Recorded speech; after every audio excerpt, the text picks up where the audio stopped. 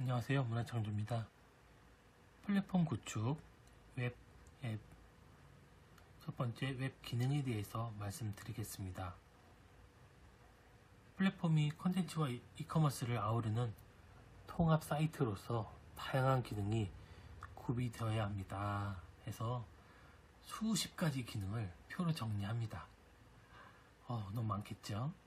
이 부분은 그 개발 관련된 내부 직원들이 모두 모여서 협의하고 어떤 기능이 들어갈 건지 플랫폼이 어떤 모양으로 예쁘게 어, 멋지게 효율성 효율적으로 효과적으로 운영이 되는지 이런 부분 다 적, 적용해서 가지로 표를 정리하는데 이게 뭐 100가지, 200가지까지 될 수가 있습니다.